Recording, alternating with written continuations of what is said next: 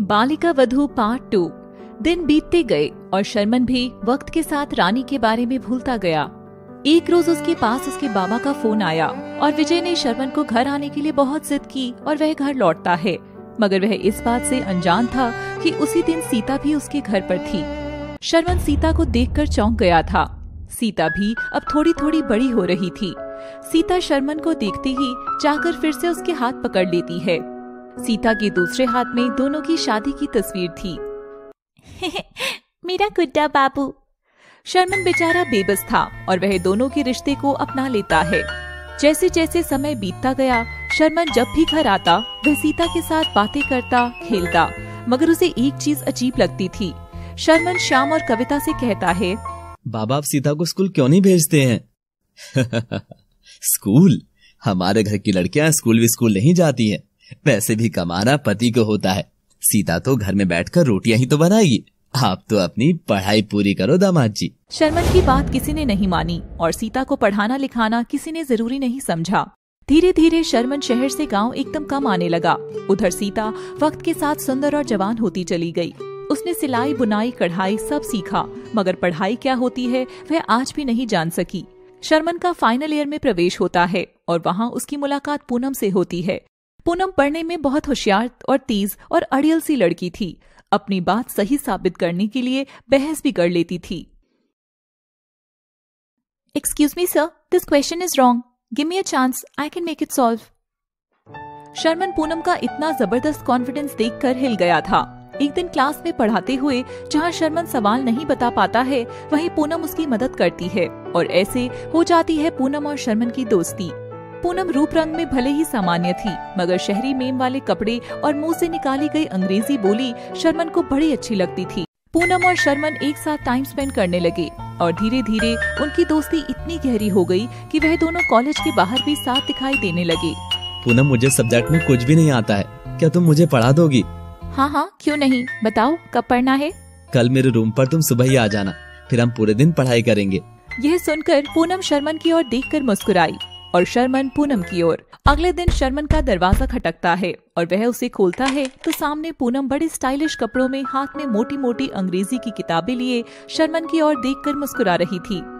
May I come in sir yes yes show Poonam thank you sir और शर्मन दरवाज़ा बंद करते हुए उसे ज़ोर से पटक देता है। ये देख पूनम को चिड़ होती है। शर्मन फेर इज़ योर एटिकेट्स डोर ऐसे बंद करते हैं? इधर आओ मैं बताती हूँ। और पूनम शर्मन का हाथ पकड़कर उसे दरवाजे को आहिस्ता से बंद करना बताती है। शर्मन पूनम को करीब पाकर थोड़ा नर्वस हो जाता है। पूनम शर्मन का चेहरा छूती है। अरे डार्लिंग डोंट बी शाइना पर पूनम हम तो दोस्त है ना। दोस्त? सिर्फ़ दोस्त? ये सुनते ही शर्मन पूनम से लिपट जाता है। दोनों एक दूसरे को मन से गले लगाते हैं। पूनम मुझे तुम बहुत पसंद हो। और तुमने तो देखो मेरा कितना साथ भी दिया है। मुझे भी तुम बहुत पसंद हो शर्मन। मगर तभी शर्मन चुप होकर मुँह फेर लेता है। शर्मन क्या हुआ? कौन सी बात तुम्हें परेशान कर रही है? पूनम मैंने आज तक तुमसे एक बहुत बड़ी बात छिपाई है। Tell me Sharman I want to know everything about you मैं शादीशुदा हूँ पूनम। मगर समझौते के रूप में बाल विवाह हुआ था हमारा। मैं बाल वर था और वो बाल वधु मतलब? पूनम मेरी शादी बचपन में ही कर दी गई थी। और शर्मन पूनम को सारी कहानी बताता है। क्या बहुत सुंदर है वो लड़की? लड़की? लड़की नहीं एक छोटी बच्ची से मेरी शादी कराई गई थी जो भी शायद सोलह सत्रह साल की ही होगी। हो माय पुअर हनी कितनी परेशान हो तुम। कम बेबी इधर आओ। और पूनम शर्मन को अपने सीने से लगा लेती है। पूनम तुम्हारी फैमिली में कौन है? पागल से माँ बाप हैं जिनसे मेरी बनती नहीं और मैं अकेले ही रहती हूँ एकदम बिना रोक टोक के। पूनम मैं हमेशा तुम जैसी मॉडर्न लड़की से शादी करना चाहता था। तो अब भी कर सकते हो तुम? क्या? पर मैं तो अरे बाबा वो तो एक एक्सीडेंट था ना शर्मन। मुझे प्रैक्टिकल चीज़ें ही पसंद है। जो शादी प्रैक्टिकल ही नहीं उसके बारे में क्या सोचना? वाह पूनम या तुम कितनी समझदार और हर चीज़ समझने वाली लड़की हो। दोनों एक दूसरे के नज़दीक आते हैं और आँखों में देखते हैं। जहाँ एक और शर्मन सीता को भूल रहा था वहीं सीता तो अभी भी इसी इंतज़ार में थी कि कब उसका दूल्हा शहर से लौटकर आएगा और उसे विदा कर ले जाएगा। माँ मैं कुएँ से पानी का घड़ा लेने जा रही हूँ।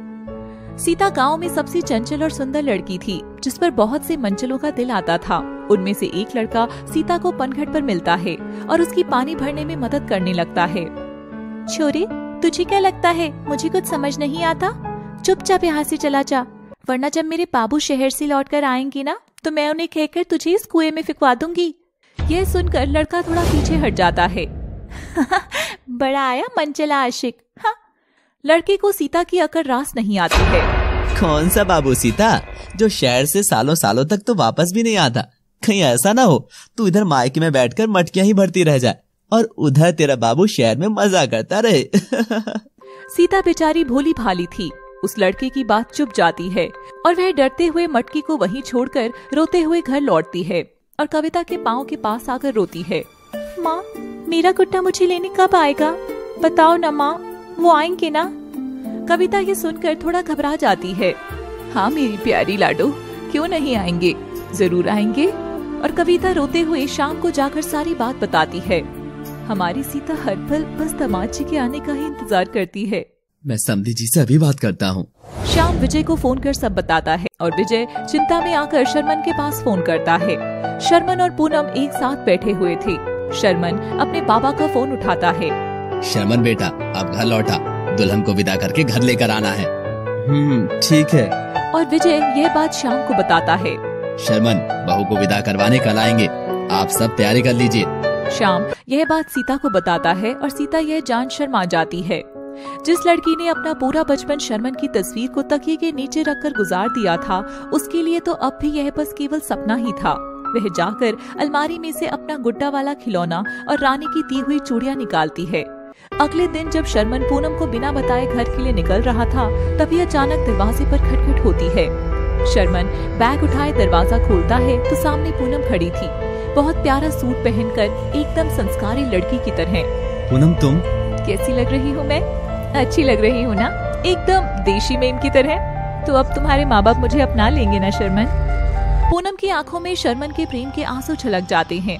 यह देखते ही शर्मन का मन बदल जाता है और वह अपना बैग वहीं रख देता है और पूनम का चेहरा चूम लेता है। मैंने फैसला कर लिया है पूनम। सिर्फ़ तुम ही मेरी पत्नी बनोगी। वो सीता नहीं। उसके साथ जो भी हुआ उसमें मेरा दोस्त थोड़ी ही था। पूनम और शर्मन एक दूसरे को गले लगाकर खूब प्यार करते हैं। उधर सीता खिड़की में बैठकर गाँव के रास्ते पर नज़र गड़ाए हुए थी। उसके हाथ में उसका पसंदीदा गुड्डा भी था। बाबू ज़रूर आएँगे। तू चिंता मत कर। शायद शहर से बस नहीं मिली होगी। इसलिए हाथ गाड़ी में बैठकर आ रहे होंगे। इसलिए देरी हो गई। सीता की आँखें टुकटुकी लगाए हुए थी और ऐसे बैठे बैठे साँझ हो जाती है। कविता और शाम समझ चुके थे कि शर्मन नहीं आने वाला है। कविता खाना लेकर सीता के पास जाती है। बिटिया, खाना खा ले। कब तक ऐसे ही बैठी रहेगी? दमाद जी को आना होता तो अभी तक आ जाते। शायद उन्हें आने में अभी और समय है। नहीं माँ पता नहीं बाबू ने खाना खाया भी होगा या नहीं। जब तक उनके मुँह में कौन नहीं जाएगा, तब तक मैं कैसे खा लूँगी? एक सत्रह साल की लड़की के लिए इतना आसान नहीं था यह सब। फिर भी सीता बस अपने पति के आने का इंतज़ार किए जा रही थी। अगला दिन होता है। सीता के माँ बाबा अगली सुबह देखते हैं, सीता ने अपना बैग पैक किया था और वह एक बहू की तरह साड़ी वगैरह पहनकर तैयार हो रही थी। सीता बेटा, ये क्या है? माँ बाबा चलो, अब मुझे विदा कर दो। मैं अपने ससुराल जाना चाहती हूँ। सीता ये तो क्या? माँ बाबा जहाँ मेरे पति का घर है मुझे वही रहना चाहिए। कुछ दिनों में बाबू की पढ़ाई पूरी हो जाएगी और फिर वो घर लौट आएँगे। तब तक मैं अपने ससुराल में रहकर उनके तौर तरीके सीखना चाहती हूँ ताकि उन्हें कभी भी यह न लगे कि उन्होंने किस पागल से शादी कर ली है। श्याम आकर सीता को गले लगाता है। देखा कविता हमारी नन्ही सी चिड़िया कब इतनी बड़ी हो गई? कि अब अपना घोंसला खुद ही बनाने को जा रही है। उन दोनों की आँखें भर जाती हैं और कविता और श्याम सीता को गाड़ी में बिठाकर उसके ससुराल छोड़ कर आते हैं। ससुराल वाले सीता को देखकर बड़ा खुश होते हैं और सीता अपने ससुराल में पहुँच जाती है। उसके सास ससुर ने उसका और शर्मन का कमरा बड़ा ही सुंदर सा बनाया था। सीता शर्मन के बारे में सब जानने की कोशिश करने लगी। एक दिन घर के आगे एक गाड़ी रुकती है। रेखा बाहर चौक में ही काम कर रही थी और वह गाड़ी से शर्मन को बाहर आता देखती है। अरे शर्मन के बापू ये देखो हमारा लल्ला घर लौट आया है। विजय बड़ा खुश होकर शर्मन को लेने बाहर आता है। सीता भी शर्माई हुई अपने कमरे की खिड़की में से ही शर्मन को देख रही थी। माँ बाबा अब मैं आपके पास ही रहने आ गया हूँ। ये तो तू बहुत अच्छी बात बोल रहा है छोरे। अब हम बूढ़े माँ बाप से अकेले नहीं रहा जाता। नहीं माँ बाबा अब आपको अकेले नहीं रहना पड़ेगा। आपकी बहू है ना वो अब सब संभाल लेगी। विजय और रेखा यह सुनकर बड़े ही खुश होते हैं। अरे बिटिया, जरा बाहर तो आना। सीता यह सुनते ही पायल की छनछनाहट के साथ अपने छोटे छोटे कदम धीमे धीमे बढ़ाती हुई बाहर की ओर बढ़ रही थी। तभी गाड़ी के भीतर से आवाज़ आई। ये स्टैट, मैं अभी आई। और गाड़ी के अंदर से लाल साड़ी पहने हुए पूनम बाहर निकलती है और बाहर आकर शर्मन का हाथ पकड़ लेती है। दोनों एक दूसरे की ओर देखकर मुस्कुराते हैं। पूनम और शर्मन एक साथ बैठे हुए थे। शर्मन कैसा हो? अगर तुम मुझे अपने घर की बहू बनाकर ले चलो। मगर सीता और वो शादी? शादी इज़ माई फुट वो सब तुम्हारे स्टैंडर्ड से मैच नहीं कर पाएगा शर्मन। और प्यार तो तुम मुझसे करते हो ना? और जिस रिश्ते में प्यार होता है वही निभाया जाता है शर्मन। हाँ बहुत करता हूँ। ठीक है पूनम। अब तक बहुत हुई लुका छिपी हाँ मैं तुम्हें घर लेकर जाऊँगा और घर वालों से बात करूँगा कि सीता को भी अब आगे बढ़ने दो और कहीं और उसकी शादी करा दे। पूनम यह जानकर बड़ी खुश हुई। शर्मन बेटा ये सब क्या है? बाबा ये पूनम है। कॉलेज में मेरे सात सालों से पढ़ती थी। फिर हमने नौकरी भी साथ करी। मैं और पूनम एक दूसरे को बहुत प्यार करते हैं और शादी करना चाहते हैं। उधर सीता बाहर आकर यह सब सुन लेती है। उसके हाथ में आरती की जो थाल थी वह सदमे में नीचे गिर जाती है और उसमें रखा कुमकुम छटक कर सीता की मांग में बिखर जाता है। सीता तुम यहाँ? जहाँ एक और सीता की मांग में शर्मन के नाम का सिंदूर था वहीं दूसरी ओर उसकी आँखों में शर्मन के दिए हुए मोती से आँसू भी सज चुके थे। सीता बिना कुछ बोले बस पूनम की ओर देखकर रोती है। पूनम सीता की ओर देखकर मुँह बनाती है। देखिए बालिका वधु की इस कहानी में कैसे एक लड़की को, जो अपना सारा जीवन अपने पति के नाम कर चुकी है, वह कैसे अपनी शुरू होती शादीशुदा ज़िंदगी के इस तूफ़ान से लड़ती है। पूरी कहानी देखने के लिए देखते रहिए केवल love city. Thanks for watching